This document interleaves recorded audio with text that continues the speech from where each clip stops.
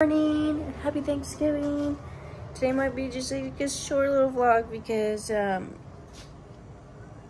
i'm not sick but grandma's sick. So we're staying home today and uh not really doing much. I might go to my tia's to get happy thanksgiving Charmander. i might go to my tia's to get us some of the thanksgiving food um but my grandma can't leave. So um, I don't think it's anything contagious. I think because we just pulled in all the Christmas decorations, it's been very, very dusty. So, um, I've had problems too. I had problems with asthma and, and all that breathing stuff.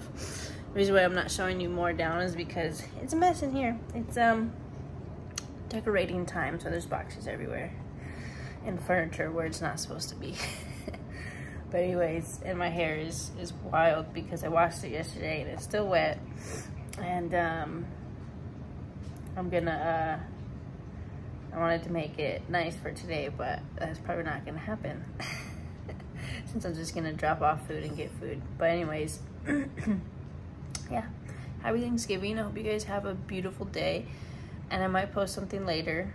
Or like a real vlog, not those little Winnie the Pooh things. They're kind of getting me mad. I uh, I kind of just wanted to scrap the whole thing because it was um, it's kind of annoying now. But uh, December will be better. Thank you for sticking around. Thank you for sticking by. And I'll see you uh, see you later with a different vlog from like before now. But yeah.